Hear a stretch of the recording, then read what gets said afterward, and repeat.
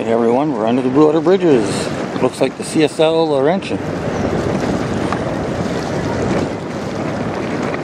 It's a little windy, so I'll try and hold the zoom as steady as I can.